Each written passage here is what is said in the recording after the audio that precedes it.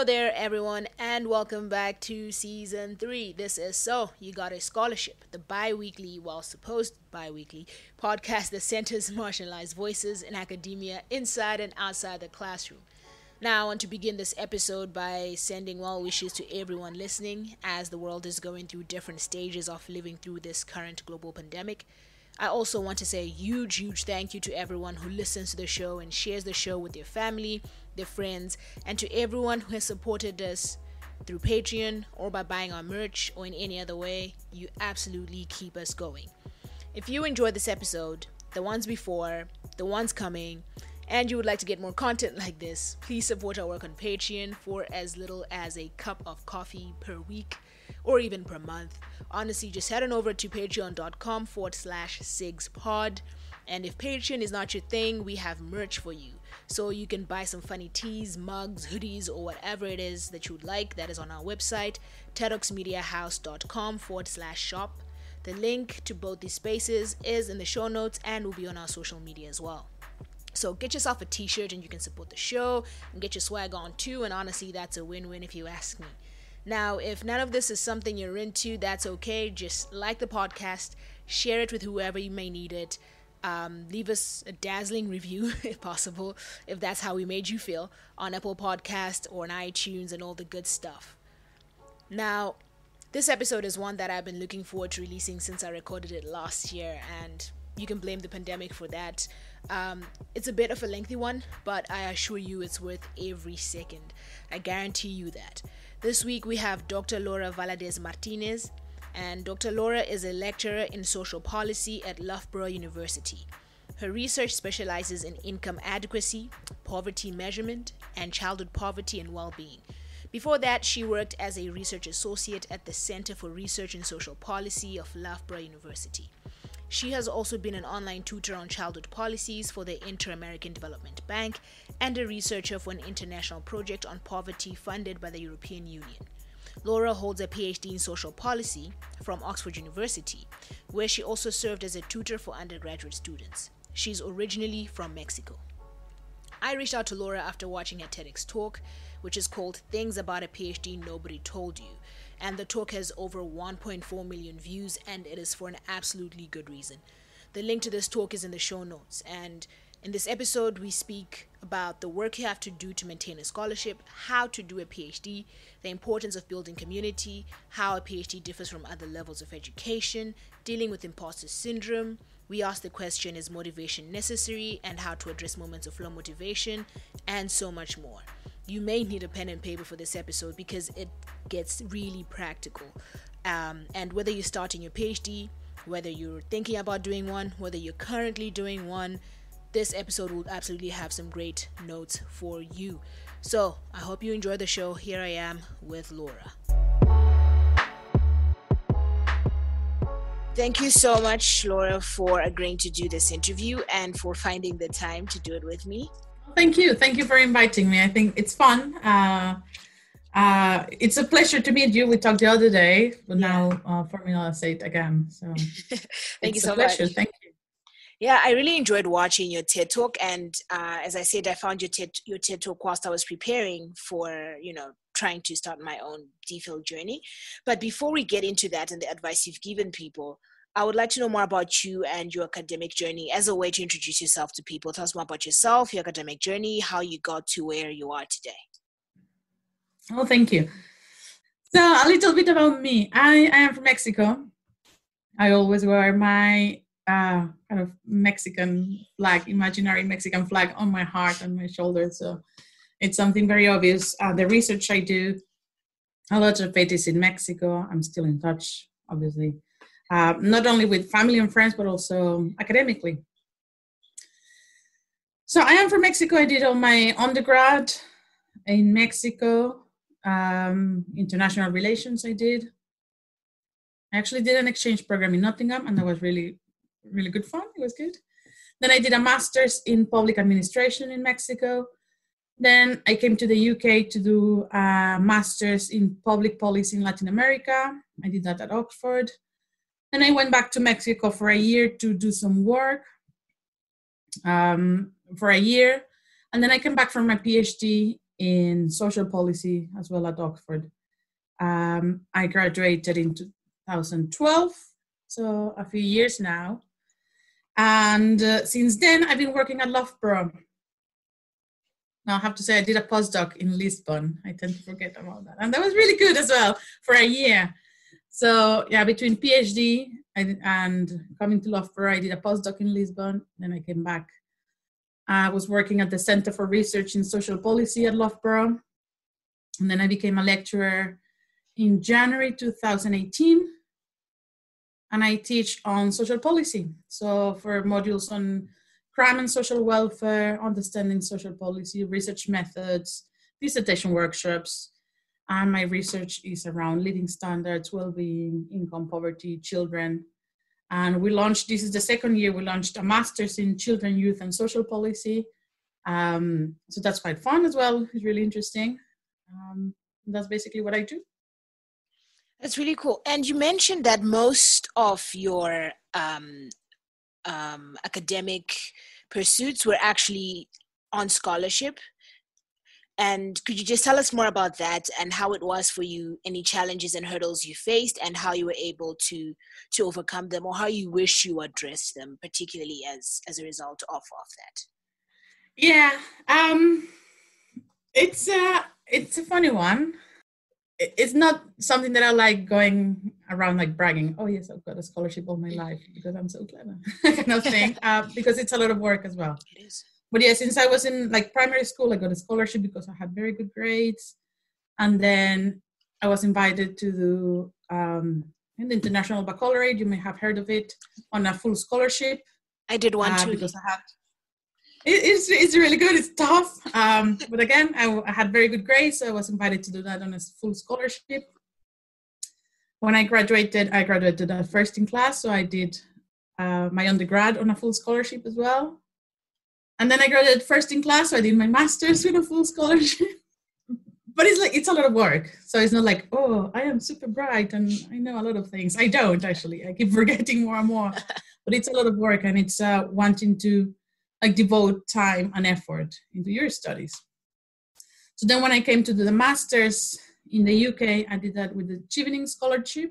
Um, as well, that's a process of having not only good grades, but having a a good interview and a compelling argument of why you want to pursue these studies. And then I did my PhD under the funding of the Mexican government, similar procedure. Um, so having good academic background, but also showing how this is going to help uh, to improve the conditions in Mexico, how you're going to make a good career out of it, kind of thing, more or less. Um, so yes, I've, I've I've had a lot of like scholarships all throughout my life. Uh, and that comes, I guess it depends on the scholarship with some commitment. So in high school and university and the masters in Mexico, we had to do some um, work for the university. And it could be in many shapes. So it could help uh, professors finding literature for them. It could be, uh, what the hell did I do? do helping in the library, I think. So different kind of jobs, kind of to to give back because of that scholarship. The same with the Chevening, the same with the uh, funding from Mexico. So you had to give back. So either work in Mexico, work for someone in Mexico. So I I was doing some work for Mexican institutions to give back kind of the knowledge you gained um, as a thank you for uh, for the funding. Um, so yeah, that's my turn. By the way, yeah. if anyone wants help with the procedures with the Chevening or the procedures from your government or any other scholarships, I mean, you know a lot about it. But yeah, I'm happy to to talk to anyone if they're interested because you know the paperwork and the Absolutely. intricacies of what to write. Uh, it's a work in itself. It's a job in itself. So I'm happy to talk about it as well. Absolutely. And you mentioned that one thing that you mentioned, I think that we generally tend to forget is the work that you have to put in, first of all, to actually find the scholarships. Um, it's not just about being quote unquote smart or having good grades, but also there's work that you have to do to maintain the scholarship. Um, and and that, that that's an ongoing work. That's something that is ongoing. And so my other question with regards to your academic journey did you find that once you were in school once you were in these institutions there was something that you know were there any hurdles that or challenges that you face as a result of being of someone who is on scholarship uh, for some people they mm-hmm. find hurdles with regards to sort of like finances because their finances are limited uh, if they're on specific types of scholarships or sometimes they might have work to do that is not necessarily you know sub, um, aligned with with what they're doing but they have to do it to maintain their scholarship. Is there any challenge that you face that's like that and how did you address it? Yeah um, yeah definitely. So you can't just say oh that's great i got my scholarship i can i can do and do my stuff. You have to maintain it. You're absolutely right. Um, so i'm thinking of the phd because that's most uh, recent uh, one for me. I'm, I'm, getting old, so I'm forgetting. um, but the, in the PhD, yes. So I got the scholarship, and I had to keep up with the good work. And there, at least for the Mexican government at the time, there were I think annual reports um, that you have to submit and show your progress. Um, and if everything's fine, then you can continue with your funding. I mean, you have to show progress to your university anyway, or to your institution anyway that was kind of an extra layer of showing how you have progressed and how you're making good use of the funding. Um, so eh, you gain skills, I guess. Somehow you get to know what to write and to be efficient in proving the work you've done. Um, because it's, it's paperwork and you have to show this is what I've done. So it could be attending conferences, pieces of chapters. If you wrote an article already, say this has been published. So it's showing good track and you get better at doing these reports. Uh, but also keep in mind that you're not um, on your own. At least I was thinking, okay, I need I needed the signatures from my supervisors, so you can't rely on doing these reports uh, last minute and get it done and dusted because you need the agreement from your supervisor. So give them the chance to read the report, to make any comments, and to sign it off in good time. So out of respect, give them a few days before and say, I, I need it by this date, not kind of I need it by tomorrow morning. Please sign it because otherwise yeah. my funding's running. So um, that's important as well. Another challenge is, I guess, uh, scholarships are not enough. living living is expensive. Uh, living standards are expensive in other cities more than I mean some cities more than others.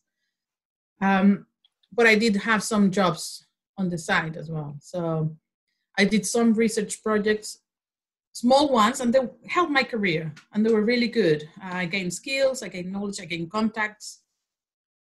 Um, i did other jobs that weren't related let's say. I was a tour guide a costume tour guide. Um, i don't know if anyone would recognize me but someone i remember one of the comments i think in tripadvisor said oh it's very funny how this tour guide has a mexican accent. Well yes. Well yes. Um, students find jobs, right? And I, I, was really proud of my job. I really enjoyed it. I was there for three or more years or so. Um, and that, that also helped, I think, to having something different to do. Um, because doing your studies and the scholarship, it could be really stressful at times and it can be really um, demanding. So having like something to switch your mind off to something else, that was really good. And also it was part of the um, so things you, things you do. Uh, I was part of the student body, which I gained a lot. So in itself is valuable if anyone's thinking of getting involved. And let's say the the gain from being part of the student body and organizing events and making sure things were right in college um, was you you get to choose at least in St. Antony's where I was at, you could still stay in student accommodation because it was scarce where I was. So usually a lot of first year students would get student accommodation, not all of them. But by second year, virtually everyone had to find somewhere else to leave room for the first years, for the freshers. If you were in the student body, you could stay in college accommodation. And that made my life easier as well. Um, because the bills are paid for. Uh, usually, rent is cheaper than in the private sector. So it was, let's say, another job I was happily doing, but the benefit was that I could afford cheaper rent because the scholarship wasn't enough. So I always had to find ways of um, of, of, of, finishing and, and yeah. doing my thing. Yeah, it's true. There, there are a lot of ways that we have to find out how to balance life in general and the finances the financial aspect of, of of having a scholarship. In as much as it thankfully provides the opportunity for you to be there there's still other things like living um, that you have to worry about. But now i want to shift the conversation back to um, basically how to do a phd uh, because your, your talk your talk uh, was things about a phd nobody told you about. Um, what were the what were your motivations behind giving that talk? Uh, what made you think that you know this would be because it's a very it's a very powerful talk but i want to know from your own journey what did you realize that that was missing that you needed to talk to people about and give people this advice oh thank you very much that's that's very kind of you um but I haven't looked at how many clicks I've got. Uh, Lots. Last, uh, like last I time I checked, it was around a million. Yeah, it's um, over. It's over a million. I don't know. And they're very nice comments. There are some nasty comments. So I guess um, if anyone's giving talks, you have to get used to it. um, I'm, I'm, I'm deciding to ignore them because people have their lives and yeah. uh, you don't know what's behind a person. Um, so I appreciate you, you follow me through that. Um, my motivation was really so when we were when I was doing the PhD, we started, and this is a very geek, but it was called the Poverty Journal Club. So I can say hello if, if they're listening to my friends from the Poverty Journal Club. And basically, we got together every week to discuss journal articles on the topic of poverty because all of us were kind of doing similar things. So we would discuss an article, um, but also it was kind of therapy. So if someone was writing an article, let's say, we would come and say, I have this draft. Are you happy to provide comments on it? Uh, or saying, I'm I'm lost. I don't know what to do. I don't know how I'm doing my interviews. I don't know how to do this analysis. I I'm really anxious and really stressed. So it was kind of therapy as well in that sense. And I found everyone was kind of very humble in admitting all these fears and challenges. Um, it would be quite easy, I guess, for some people to pretend that, oh, I know everything and I know what I'm doing. And then you, you dig a little bit and all are lost. It's like, oh my goodness, a PhD, there's no path. I think I, I told you this when we talked informally. When you do your undergrad, when you do your master's, there's a path. So the professor say, this is the path kind of thing. You have to do this and, and you follow. And if you do it fine, you get good grades. And if not, it could be so-so, whatever. But it's rare occasions when you get to do that additional bit on your own. Of course, you can, but in the PhD, there's no path at all. so you have these questions, you have this project, and and you have to find the path yourself. You have to build it. So from deciding what questions are important, what literature to include, what are the theories that are relevant, how are you going, what data do you need, how are you going to analyze it, and to make sense of it. There's no given. So in that poverty journal club, I realized we all were kind of on the same boat, thinking, oh, I don't know anything about it. I need help. And everyone kind of got that extra layer of, uh, maybe it was like an, a shield, right? Everyone took that one off and said, yes, I don't know where to start. I don't know how to do this. And then, so it was kind of very emotional when I was finishing my PhD. Obviously, the journal club continued because there were new people arriving. And I wrote these items for that. I wrote this, oh wait, I wish I could, I wish I knew these things when I was starting. Obviously, you learn those things along the way. And maybe it's a matter of people finding their own ways. But I think that was the motivation behind. So I wrote that for the journal club when I finished my PhD. Um, and then there was a call. I was at, at Loughborough already working, and there was a call for a for a TED event and they said like any topic, right? So I made my application. I sent my um, my proposal with the topics, and they interviewed me and said, "Oh, that's quite interesting." I said, "Yes, I think it is." that's why I sent it. um, and I thought, well, it could be appealing because it's kind of a general one, isn't it? So it's not specifically on poverty, not specifically on living standards or or child well-being, which was my area, but kind of more general something that could be helpful for for students. Um, so again, going back to it, I think it's scary. I see, I saw kind of shooting numbers of the talk. I'm like, oh my god! But I know because when you're doing a PhD, it could be quite lonely. Um, because you're the only one who's doing that, right? Like that very focused research. So um, I guess in that loneliness, people search for ideas and support and um, yeah, so that's how it happened. It was a really, really good talk. And like, I want to get into some of the things that you mentioned without necessarily repeating what's in the talk, but I'll put the link in the show notes so that the audience can just go there and, and really watch it, which I advise everybody to um, to do. Um, but there were really some things that, that were pointing to that that I'd like us to expand on. And one of the things is something that you just mentioned right now, which is about the PhD being a very lonely journey. Uh, mm. This actually might also be me being selfish because as I'm starting my PhD, I kind of do want to get as much advice as possible and just hope that my audience finds it useful. But really, you mentioned that you know the PhD is, is is a very lonely journey, and that's something that I've heard a lot of people talk about. Um, and you do advise on building a community, which is something that you did with the Poverty Journal and things like that.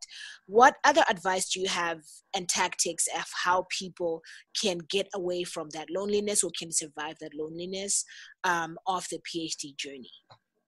Mm.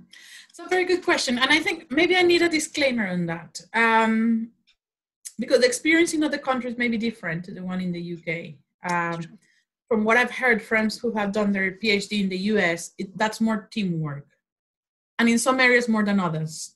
I think probably in engineering and uh, chemistry and biology, those, those kind of areas tend to be more teamwork because there's big projects and then each person kind of does their own specialty.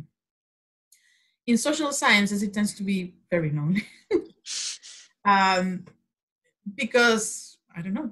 I don't know why. um, we do different kind of questions. We do kind of different kind of research.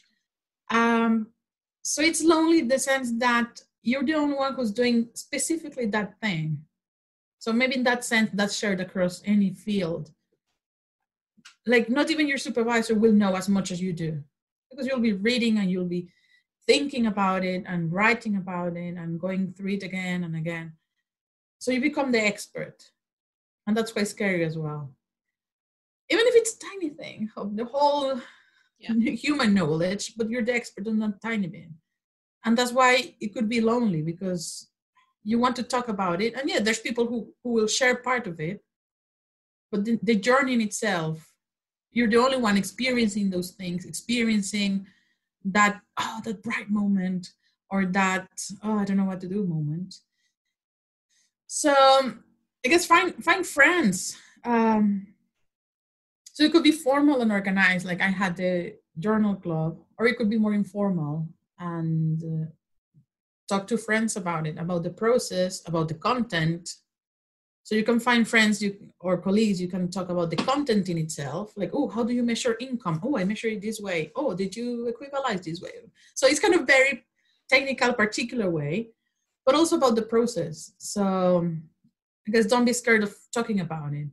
And also there's obviously channels kind of well-being and um, well-being advisors uh, some like official support from the university on mental health if you really need help and you're struggling. You can always um, ask them. And as your supervisor and i think especially when when someone's starting their phd at least i did kind of oh my goodness like the supervisors um, and then you realize um, well they know a lot yes because they've been doing that for years but also they're people. So chances are they're going to understand your struggles. And and i think supervisors tend to be nice. I had a very great experience. Um, now that i'm supervising i'm trying to be nice as well. Um, because yes you you want people to do their job but if people are not okay the job's not going to get done. And I think especially these times when everyone's struggling and there's challenges everywhere, like caring responsibilities, health issues, mental health issues, people who have lost someone or just stressed or worried about the whole situation, it could be overwhelming.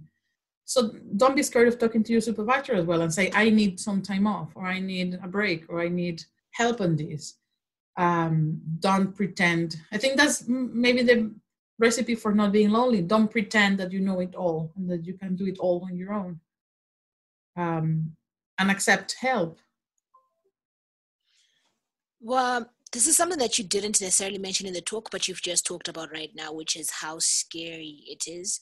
Um, part of it the question that i have for you is people talk about imposter syndrome. People talk about you know starting something and not, and not being sure if you fit in not being sure if you you really deserve to be there. Mm. how does one deal with it? Because you i actually felt myself get scared when you mentioned the the term expert like you become an expert and i'm like no is that that can't be. I, I don't think i can ever be that. Um and it's just very scary right to to to think that you are there's this expectation that you will know quite a lot of things.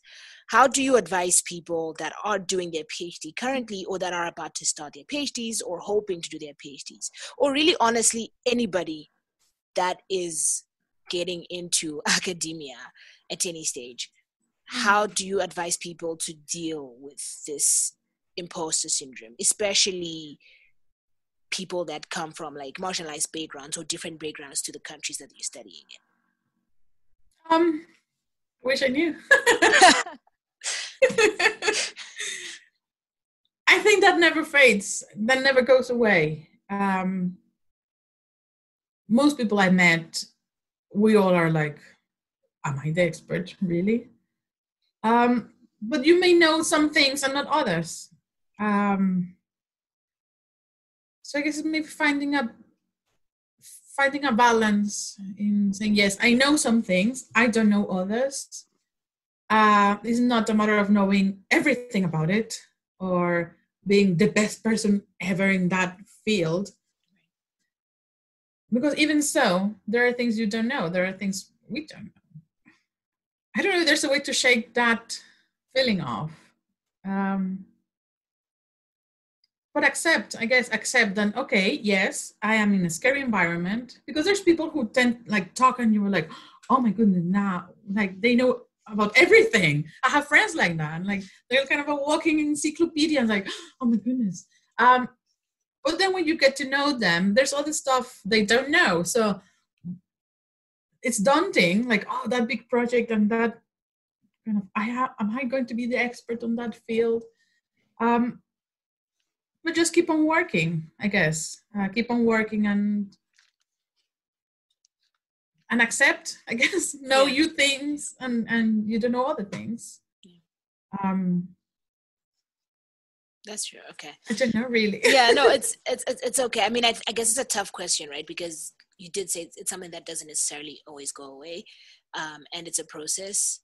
Um so it was it was just a question that just came to my mind right now um, one of mm-hmm. the things that you mentioned in the talk is with regards to motivation like sometimes when you think i don't have any motivation for this or you, you just feel like you're not inspired to do the work and a phd you said and has been said by a lot of other people is a marathon it's not a sprint um, could you dive more into that and how do people how do you advise that people consistently find the motivation or create the motivation or is it even necessary to have motivation at some point once you started um, and how did you go about that yeah, that's a good point. Um, so motivation, I guess you need it because it's a huge project. You're going to be working on it for three or four years. I ended up doing mine in four because it was more complex than I thought. Uh, so you need, I think you need to split it in small chunks and to tick those boxes. And I think I talk about it in the in the TED talk. Be able to say this is done. For me that was really helpful. Because otherwise it's like imagine you enter into a room and it's full of mess. I'm like where do i start? How how do i start cleaning this thing? Isn't it? So maybe you put your laundry away first then maybe you look at what socks have holes and you put them aside uh, or maybe like oh this uh, i don't know these uh, papers can go into the rubbish bin so little by little because otherwise it's too much. The same with the PhD. So you think, oh my goodness, it's three, four years um, where do I start? How do I keep on going? So split it into small chunks, celebrate the achievements. So it's good to celebrate, even if it's, uh, I don't know, finishing a journal article sometimes. Because sometimes you read and like, whoa, I'm not really understanding. So getting to finish it and understand, like, yes, celebrate it because you deserve it. Um, um, doing something else also helps, I think. Uh, when I mentioned I was a tour guide, so just having that feeling of that day is over, that helped me. Okay, that's finished. Like having that sense of something's finished. um, or it could be doing a piece of art or or growing a plant or something else that you feel done. So I can keep on going with the big thing. Um, that's how I found to keep on the motivation and then obviously there are some nice comments from coming from family and friends who are like oh wow you're doing that thing and that goes back maybe to the previous point believe those comments so if people say wow that's great you're doing this phd on this or wow it's great uh, you got uh, you got to present even if it's a small conference in, in your own department if people say oh great that's, that's fantastic believe that and, and take that and accept it.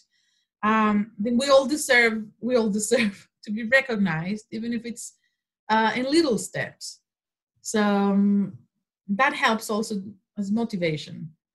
Um, maybe having something to look forward to. So even if it's a student conference, having that goal and saying, "Oh yes, I achieved that," or having a poster conference, or having um, obviously if there's kind of a formal assessment as well. So look forward to that, to that assessment, and celebrate when you when you finish. So so you can keep on going. That's that. That's really um, I think very practical advice which is which is great which is what i was looking for like something that people can actually listen to and say oh i can do that i can grow a plant or you know i could and i remember one of the things that you told me when we spoke before before the interview was you you you remember walking past like a reading room or a library and seeing people studying mm-hmm. but you chose to actually continue to go to a party that was being held part of you was wondering should i not go but that's not you, you actually have better memories of being there and taking the time out to do something else. That's not necessarily. Yeah, that's right. You know? That's right, and that's a very um, it was around Christmas times. so it was cold and dark, and even it was like five thirty or six, and it was dark. So in the UK, it's already pitch dark at that time. Be, yeah. So and I remember I walked by. It was it was a Christmas dinner from my work when I was a tour guide, and I could see my friends to the window like typing and reading and really concentrated. And I passed by and I thought, I'm going to this to this party. like maybe I should be studying. Maybe I should be like sitting like them. And then I realized, well, it's it's okay. It's okay to have a life. It's okay to do something else. I went. I had fun. Um, I came back. And in the end, I have my PhD. They have their PhDs. We have lives. We have families and other things going on. So so it's okay like don't like don't go and and punish yourself like oh no i'm not uh, right i'm not doing as much as my friend because you don't know individual circumstances um, i think that's a it's a trap very easy to fall saying oh i'm not working as much as this the person who's submitted a chapter already and i haven't. Well you don't know what's behind. Right. so in the end it's a very that's why again it's very lonely it's very personal that journey. Uh, like your pace your rhythm sometimes you'll be better sometimes you'll be slower sometimes you'll be really stuck and sometimes you go like whoo so um, so make the most of it and, and that's part of uh, how to keep the motivation as well. Oh and before i forget i think that's also part of the talk having a diary and that was yeah. really the best advice that was really the best advice i think from my supervisor uh, he said keep a research diary and that was literally a notebook saying, oh, uh, I read this and this and this, or I consider these theories, or then when I went into variables and coding, these variables mean this, these variables mean that. Oh, I changed, I deleted this because of this and this and this. So in the one hand, it's, it's kind of good practice. So you have a record of decisions of why you coded that variable. Let's say if it was agreeing and the original scale was from one to 10, and then you change that into one to five.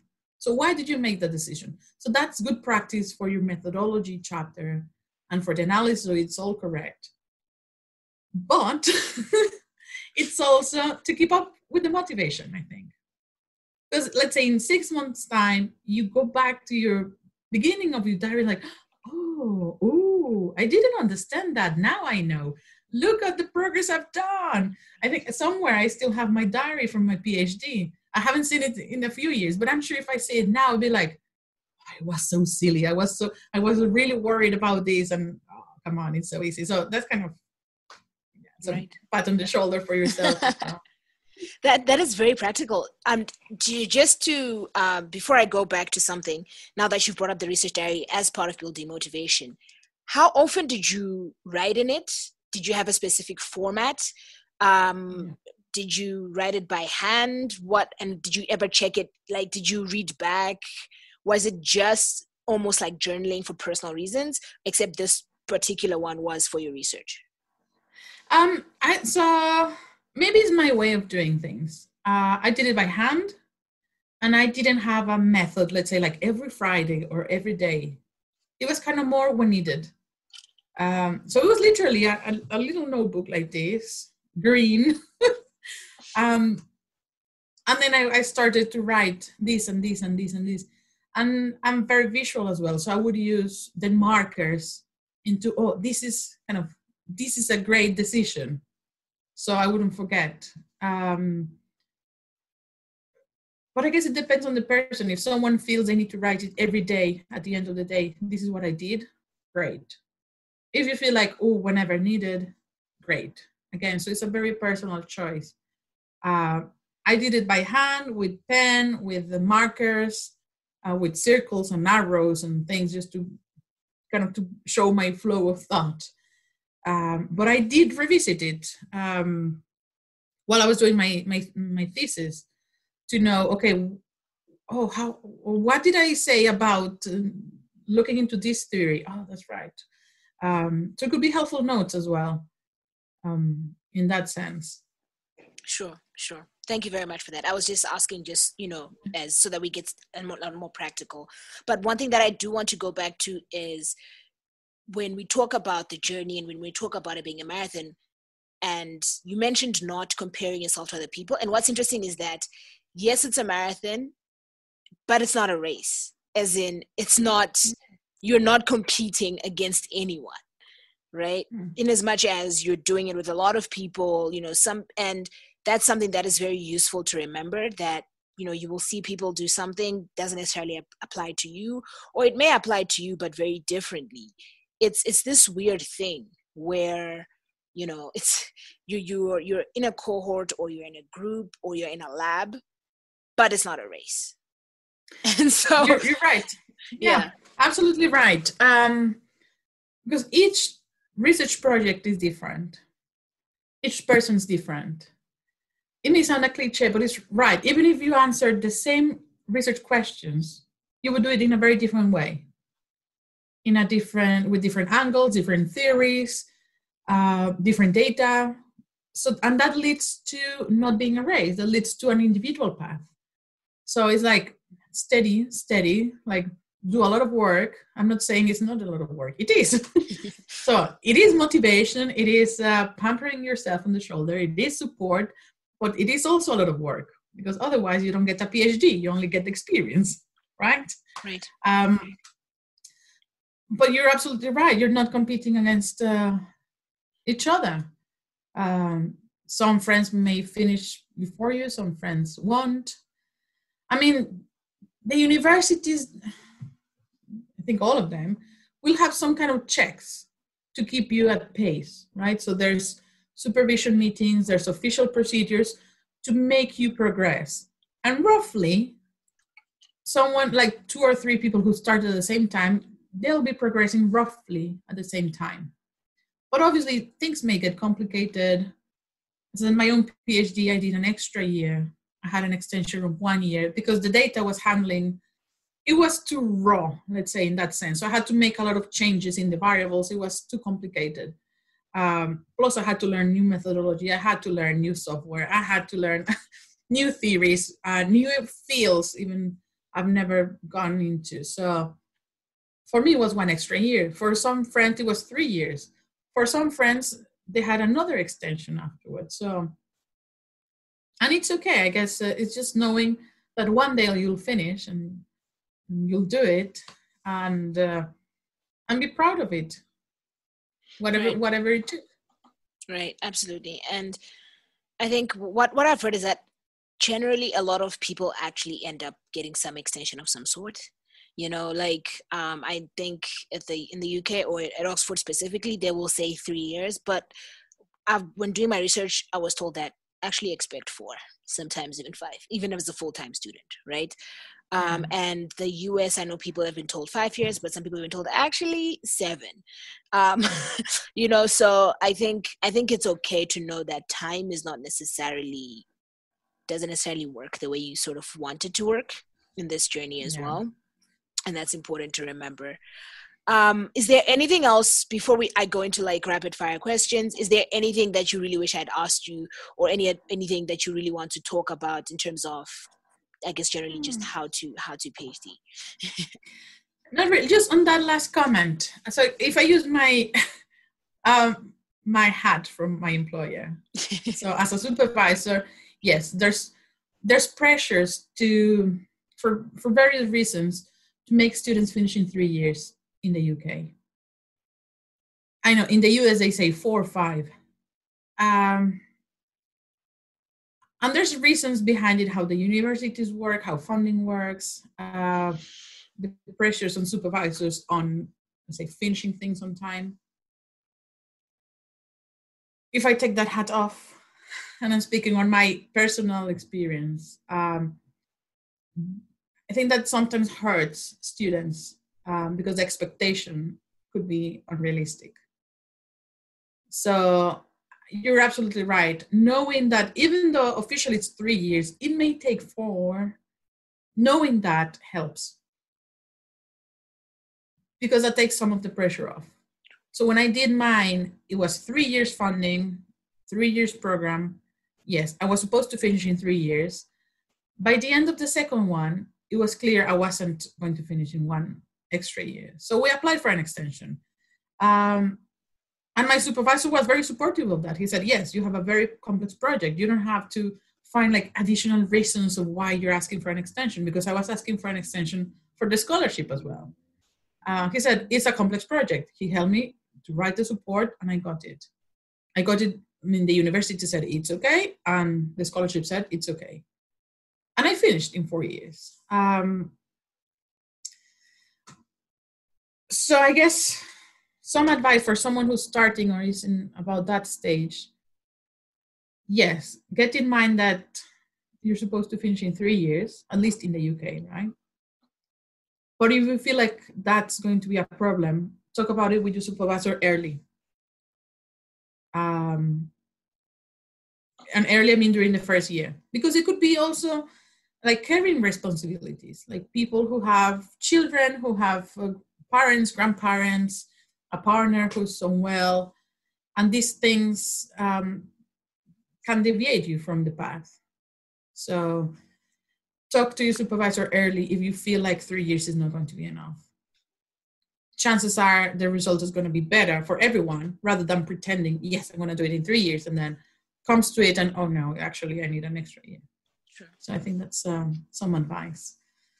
Um and that, that's it. I don't know. What else? Yeah no i you actually mentioned something that i had forgotten to ask you which is you're now a supervisor as well and and a lecturer. What perspective have you gained? What other new perspectives have you gained by being on the other side of the of of of this um I've maybe because I've been on both sides, that like student and supervisor, we all are people. And we all have families and concerns and personal circumstances. and it's okay to bring them into the phd i think uh, it's okay to to see as a whole thing so not the phd as a separate from your life because it's your life for four years. So i think that's what i've gained. So now with my students who are doing a phd i'm very aware of their lives. So if they say oh i cannot submit this on time for any reason give me another week it's fine. Although i have to say they're very good in in submitting things. Uh, but i know if they said oh i need an extra month because of covid now i'm home looking after my children whatever it's okay. It's okay. So i guess i've gained that perspective um, yeah supervisors can learn a lot from from students as well. So i think it's a it's a myth that the supervisor knows a lot and the student is learning from them. It's a mutual mutual process of learning and that's that's really that's really appealing. So i like my job. I think that reminder is also important that reminder that it's mutual is important not just for supervisors it's also important for students. And i'll say this as somebody that's coming in as a student i i have i've been in touch with my supervisor now obviously even though uh, as we are recording this i haven't started my my my DPhil and just him sort of giving me that space to actually you know for him to say oh can you recommend this these things for me has has has reminded me that oh wait this is this is mutual. You know and because he's somebody that i respect a lot and whose work i really enjoy it has been very helpful for him to come to me and say oh can you can you give me a list of books and articles you think i should read? And i'm like wait me? You know um but but that is something that that is helpful even for students when supervisors when supervisors remind them that look we we're, we're this this is mutual um, you know, in as much as I'm teaching you something, you are teaching me something as well because I, I am in this field. I need to learn and grow as well with you. Um, and so I think that, that that is something that is very helpful um yeah. and you saying it as a supervisor as well like is obviously great and i hope other supervisors that will listen to this will also hear that i think the, the ones I, have met and the ones i know they are like that i think people in academia like to learn mm-hmm. so it, it's a matter of keep growing and keep learning. And because the, the field there's new things there's um, so the field kind of evolves. There's new things coming up. Uh, people are coming from different backgrounds with different perspectives. So you always learn. And um, and that's great. It's a great job.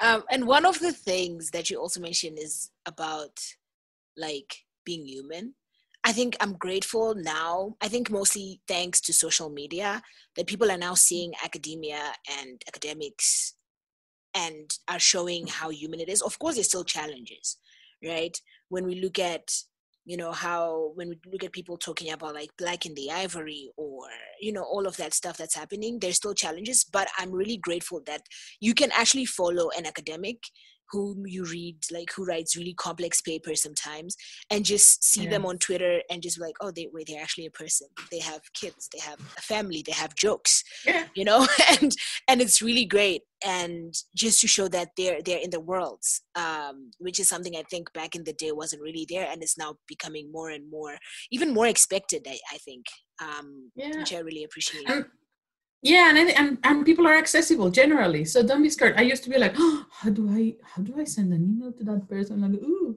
Um just like just email them or just tweet them or just tag them in a tweet or or um, or any other platforms. I'm, I'm not using many but um yeah. I use twitter a lot and sometimes it's just a matter of saying oh look at this or i found your work. If, if it's um I've done it as well when I was a student. Uh, someone and they wrote a book and you really like it and say, oh, I just thought of sending you an email. Like, I really enjoy your book. Could you recommend any other things? And people are usually accessible. Um, even if they're like these top professors, people are usually willing to help and, and to, right. to talk to you. So, right. Which is how this interview came to be, actually as well, right? Like I, I didn't even expect you to respond. I was like, okay, this TED talk has over a million views. And let me just try my best and send an email. But you're right, it it it it, it happens and it turns out like super amazingly. Um, and so just you know, as people say, shoot your shot. Just just ask. Um, yeah, exactly, exactly, exactly. Um, yeah, just just, just do. And Yeah. uh, people are usually nice, so that's Yeah. a good thing. Yeah, absolutely. Well, thank you so much, uh, honestly, for the great advice and the great interview. And it's very practical um, for me as well. And I, I know a lot of people that listen to this will get something from it. I want to end on rapid fire questions. Basically, they they are to do with necessarily nothing on how to PhD or anything like that. But before we get into that, where can uh, our audience find you um, and learn more about your work, or just get in touch with you if they would like? People can get in touch with me if you if you, I don't know if you were gonna share my work address or something. Uh, if you Google my name, Laura Valadez Martinez, I am the only one in the world. um, so I work at Loughborough. You can find my email over there, Loughborough University. It's very difficult to spell. and after three or four years, yeah, kind of after three years of working there, I could say Loughborough, and people say, What? So I'm kind of more or less mastering how to say it. Uh, it's close to Leicester. Yeah. if you Google it in in a map. Um, I mean, if you Google me or in Twitter, I'm basically now tweeting about plants. That's great. Um, So if you're interested in gardening, I'm Yeah. but yeah, please do get in touch with me. Uh, Absolutely. mm, I'll, I'll put all of that in the show notes as well. And as I said before, I will put a link to your to your to your talk, um, so that people can see where this conversation came from as well. Okay, so are you ready for all of these random questions? ah, I'm scared. they, they- they're actually like they, they aren't difficult. Everybody says they're scared, and then they're actually pretty fun. Uh, Like, but okay, Where they coming from? yeah so let's begin so i think the first thing i want to know is we're in the middle of a global pandemic right now in the middle or in the whatever honestly it's been such a long year but what are you currently enjoying that is giving you that is Mm. bringing you delight and joy amidst all of this I think my family.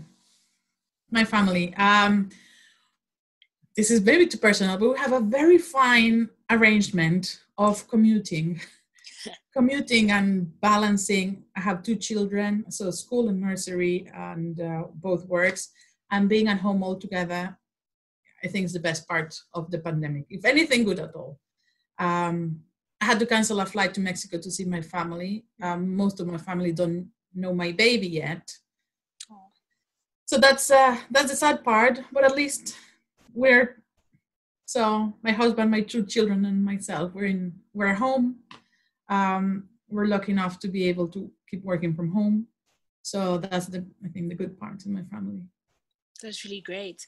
Um, and what are you currently are you currently reading anything or watching anything? How are you spending?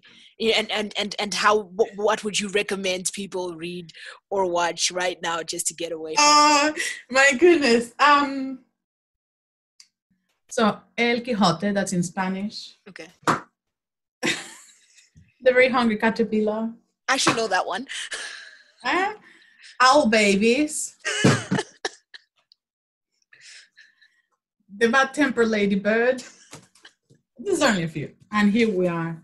Um, Oliver Jeffers. This is my son's favorite at the moment. And you can Oh, wow. see i i was going to Uh, say this is his bedroom. background. yeah this is his bedroom. Uh, so that's what I've been reading, uh, really. So yeah it's good to go back sometimes you know spending time with with with with kids and young people sometimes just actually gives you a perspective on the world that is much better than adult perspectives um because it's, it's it's unfiltered it's unhindered and it's just full of so much awe so it's good to read those uh those children's books it's really relaxing actually it is. And I have to say, um, most of this, um, because it's a, uh, literature in English, I didn't grow up with. Uh, so I'm, I'm new to them. I mean, in the last four years or so, I'm knowing more and more children's books in English. Um, so it's good. Um, apart from that, it's tough for my lectures, yeah um, but not much to be honest.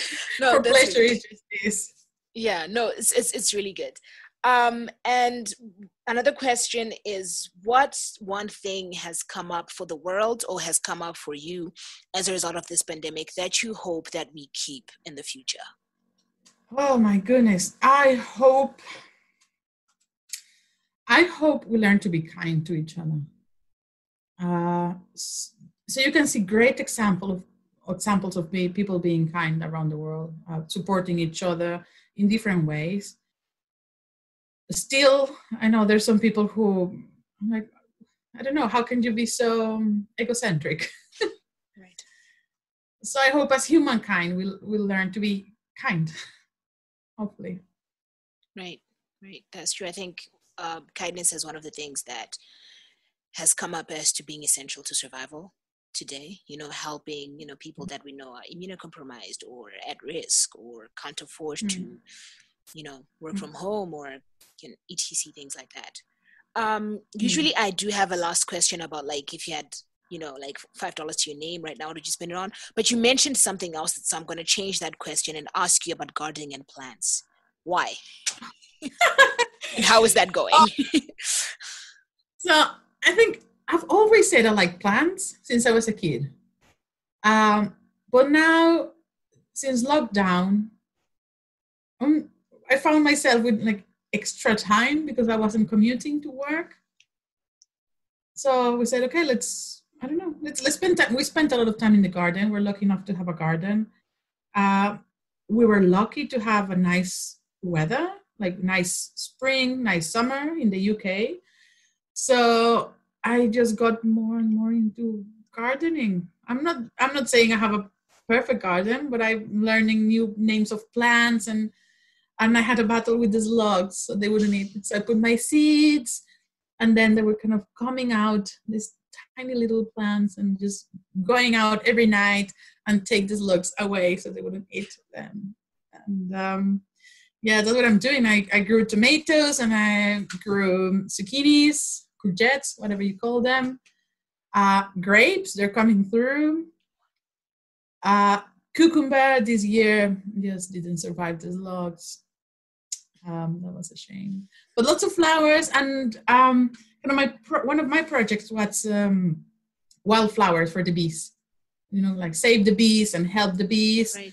So now I have a, a, little patch of wildflowers coming through, and they're very nice. And I go and photograph the bees. So if you go on my Twitter, now it's full of flowers and tomatoes and, and bees.